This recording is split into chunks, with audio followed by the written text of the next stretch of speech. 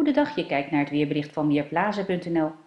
Op de satellietfoto kunnen we vaag boven het noorden van het land wolkenvelden zien, maar die zijn er toch werkelijk wel.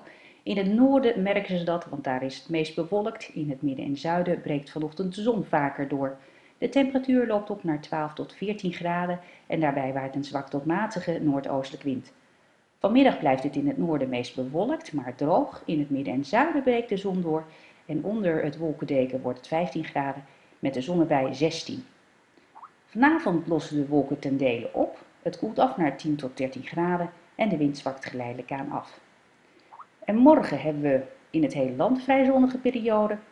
De temperatuur loopt op naar 16 of 17 graden en er staat meer wind vanuit het oosten, windkracht 3 tot 4. En de dagen daarna hebben we nog steeds met een hoge drukgebied te maken. Woensdag, donderdag en vrijdag blijft het droog. De zon schijnt geregeld. De kans op mist in de ochtend is klein. Het wordt overdag 15 tot 16 graden, maar de nachten en ochtenden zijn koud. Ik ben Diana Woei van Weerplaza.nl.